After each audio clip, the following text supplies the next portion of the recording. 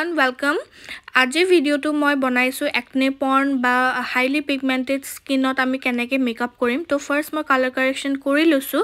ইয়াৰ পিছত মই ব্যৱহাৰ কৰিছোঁ Huda Beauty foundation Huda Beauty foundation use কৰিলে কিছুমান বেনিফিট আছে যিহেতু হুদা বিউটি ফাউণ্ডেশ্যনটো বহুত ঠিক হয়।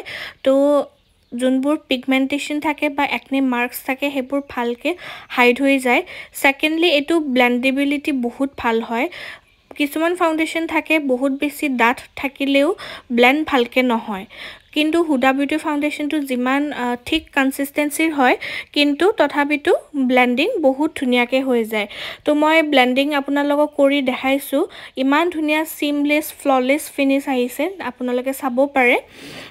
মই ব্লেণ্ডিংটো খুবেই বেছি ভালকৈ কৰোঁ আপোনালোকেও কৰিব। ব্লেণ্ডিঙত বহুত টাইম দিব। মই যিহেতু বহুত টাইমেৰে ব্লেণ্ডিং কৰিছোঁ সেইকাৰণে মই ভিডিঅ'টো অলপ ফাষ্ট ফৰৱাৰ্ডিং বেছি কৰি দিছোঁ নহ'লে ভিডিঅ'টো বহুত লং হৈ যায়। কিন্তু আপোনালোকে শিকিব পাৰিছে মোৰ পৰা যে মই ব্লেণ্ডিং বহুত ভালকৈ কৰোঁ। তো আপোনালোকেও কৰিব। ইয়াৰ পিছত মই কনচিলাৰ লগাই লৈছোঁ আৰু কনচিলাৰৰ পিছত যিহেতু তেখেত তেখেতৰ ফেচটো অলপ ছবি আছিলে মই ক্ৰীম কণ্ট্ৰৰিং কৰিছোঁ জ লাইন তাৰপিছত ফ'ৰ হেড ন'জ চিক বন গোটেইখিনিতে মই ভালকৈ কণ্ট ক্ৰীম কণ্ট্ৰ'ৰ কৰি লৈছোঁ। ইয়াৰ পিছত মই ব্লেণ্ড কৰি ল'ম। ব্লেণ্ড কৰা ফুটেজটো আই থিংক নাই। তাৰপিছত মই ব্যৱহাৰ কৰিছোঁ টাৰ্ট শ্বেপ টেপৰ কনচিলাৰ এই কনচিলাৰটো ইমান বেছি ফ্ললেছ এটা ফিনিছ আহে তো সেইটো কাৰণে মই এইটো ব্যৱহাৰ কৰিছোঁ। আপোনালোকে ইউজ কৰি চাব বহুত ভাল পাব। ইয়াৰ পিছত মই ব্লাছাৰ এপ্লাই কৰিছোঁ। ব্লাছাৰটো এবাৰ লাইট আৰু তাৰপাছত মই আৰু অকণমান ডাৰ্ক ব্লাছাৰ এপ্লাই কৰিছোঁ। তাৰপিছত মই লুজ পাউডাৰ দি পাউডাৰ ছেটিং যোনটো আমি বেকিং কৰা বুলি কওঁ সেইটো কৰিছোঁ।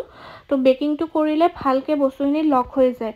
আপুনি যিমান দামী ফাউণ্ডেশ্যন এপ্লাই কৰিলেও যদি ছেটিংটো ভালকৈ নকৰে তেতিয়াহ'লে ফাউণ্ডেশ্যনটো মুভ হোৱা সম্ভাৱনা থাকে। ইয়াৰ পিছত মোৰ ফেভৰেট আই মেজিকৰ পেলেটটো লৈ মই ব্লাছাৰ এপ্লাই কৰি পেকৰ কণ্ট্ৰ'ৰ পাউডাৰ দি মই কণ্ট্ৰৰিং আকৌ এবাৰ কৰিছোঁ। ইয়াৰ পিছত যিহেতু আমি বহুখিনি পাউডাৰ প্ৰডাক্ট ইউজ কৰিলোঁ মই ভালকৈ মিষ্ট এটা মাৰি লৈছোঁ। মিষ্টটোও হৈছে আপোনাৰ পেকৰ পৰাই। ইয়াৰ পিছত লিপছটো মইশ্চাৰাইজ কৰিবৰ কাৰণে মই লিপ বাম লগাই লৈছোঁ আৰু এতিয়া মই আই মেকআপ ষ্টাৰ্ট কৰিবলৈ কনচিলাৰ লগাই লৈছোঁ। এতিয়া আমি আই মেকআপ ষ্টাৰ্ট কৰিম। অলপমান পাউডাৰ দি ছেট কৰি ল'লোঁ।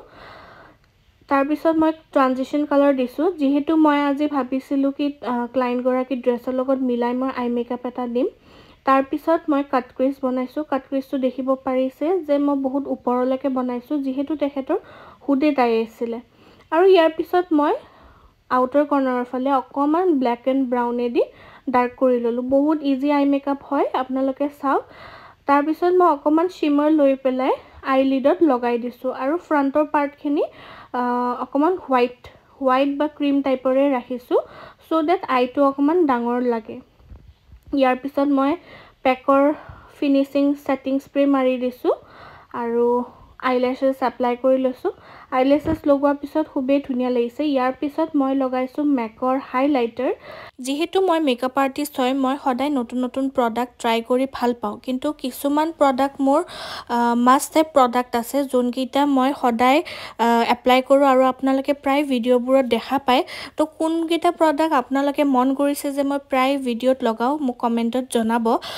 লিপষ্টিকৰ বাবে আউটাৰ লিপছটো মই প্ৰথমতে ডাৰ্ক কালাৰ দি আউটলাইন কৰি লৈছোঁ। তাৰপাছত মই টু ফেচৰ এটা নিউড কালাৰ লগাইছোঁ। ইয়াৰ পিছত লিপ গ্লছ লগাইছোঁ। সেইটো হৈছে টু ফেচৰ বহুত ভাল ব্ৰেণ্ড হয়। আপোনালোকে ইউজ কৰিব পাৰে। তাৰপাছত লগাইছোঁ মই mascara lower lashes and upper লেছেছত and makeup প্ৰায় ডান হৈছেই। মই ইয়াৰ পাছত অলপমান আইলাইনাৰ লগাইছোঁ। অভাৰঅল লুকটো আপোনালোকৰ কেনেকুৱা লাগিছে মোক জনাব।